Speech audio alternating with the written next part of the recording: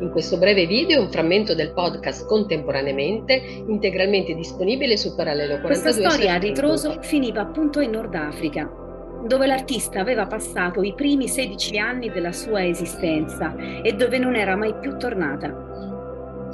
Ricordo che questa assenza del ritorno mi colpì. Pensai che il dato biografico ed emotivo non poteva essere disgiunto da quello artistico e iniziai a guardare alle sue opere in maniera diversa.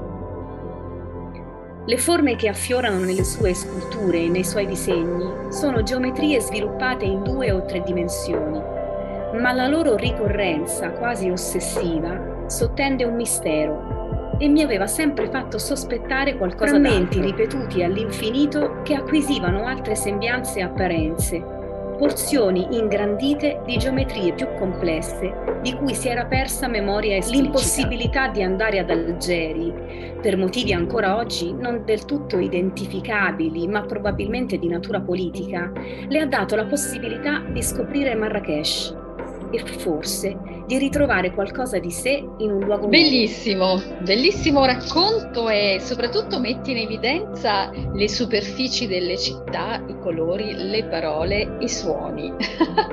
I suoni, tutti elementi rappresentati qui da, eh, da questi preziosi ospiti e che naturalmente sono tutto questo meccanismo attivato dall'opera dell'artista. Ci racconti di questo viaggio? Come se la geografia e ciò che fossero solo un percorso da seguire verso di sé, la via e non la meta, orientarsi letteralmente. In quanto ai progetti murali che mi ero prefissata di realizzare per il Gospel Present, qui mi è immediatamente apparso impensabile dipingere dei muri, impossibile e incongruo segnarli in modo permanente. Sono la luce, l'ombra, veri protagonisti a Marrakesh in eco ai miei studi sulla cultura visiva islamica e sul suo rapporto con la teoria della visione, oltre che la città a essersi imposte e i muri stessi, con la loro verticalità, poi il transitorio, l'effimero, che rispecchiano la consapevolezza dell'inafferabile e forse la riluttanza per l'immagine che si pensa necessariamente permanente, con il suo conseguente predominio sul già esistente, lo spazio impenetrabile e Questo eh, tuo lavoro fa, fa, sorgere una domanda, ma dove siamo? Nella bellissima casa? opera La città nella storia di Louis Manford in, illustra come nel 360 d.C. Damasco, Gerusalemme e Antiochia erano già molto evolute in termini di funzioni sociali rispetto a Roma, con 25 km di strade fiancheggiate da portici illuminate dalla notte di notte ehm, narrata esprime l'essenza fisica e simbolica delle culture che contiene, sollecita e racconta pensieri e azioni dell'essere umano in tutti i luoghi allora, del mondo. io dico Marrakesh è la città del possibile. In questo termine viene, veniamo già a, a trovare un qualcosa, un antidoto all'impossibile e diventa la città del possibile. Mi spiego.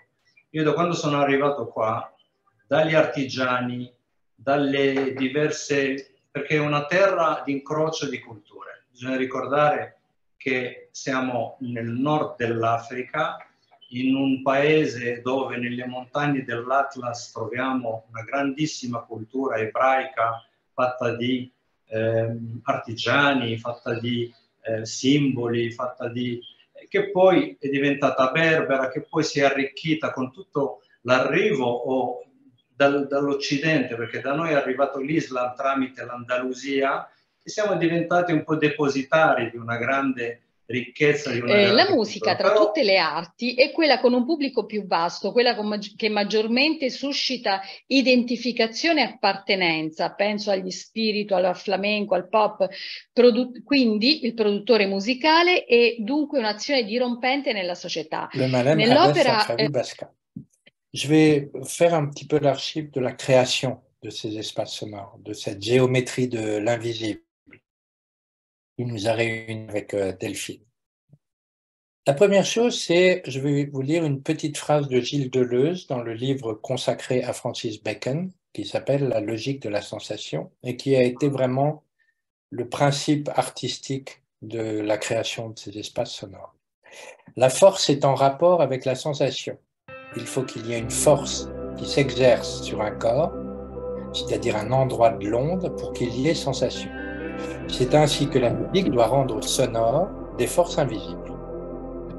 Cette phrase a été le principe de base de la création de Peace is Not Belief, qui est une installation sonore et vidéographique qui a été créée et inventée pour la Biennale de Sharjah. Ah, fantastico, ma insomma non ho capito tutto, però, però mi pare che sia un elemento centrale intanto il rapporto musica-spazio e soprattutto il recupero della memoria. Oui.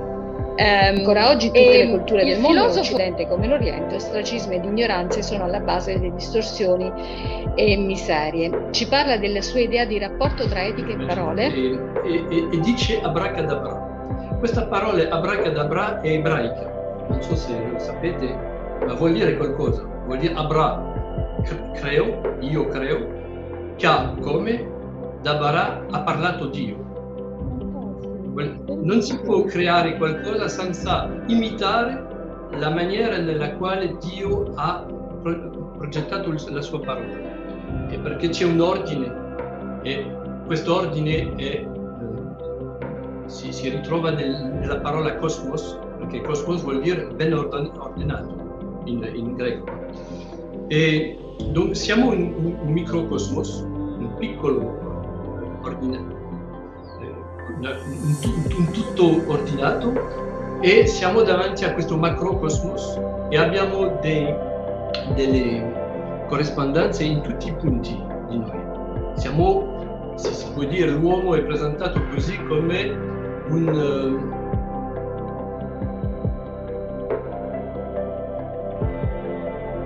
contemporaneamente trovate dialoghi di arte, scienza, letteratura, storia, filosofia, architettura, cinema, economia e molto altro per leggere il contemporaneo attraverso il pensiero dei suoi più autorevoli interpreti.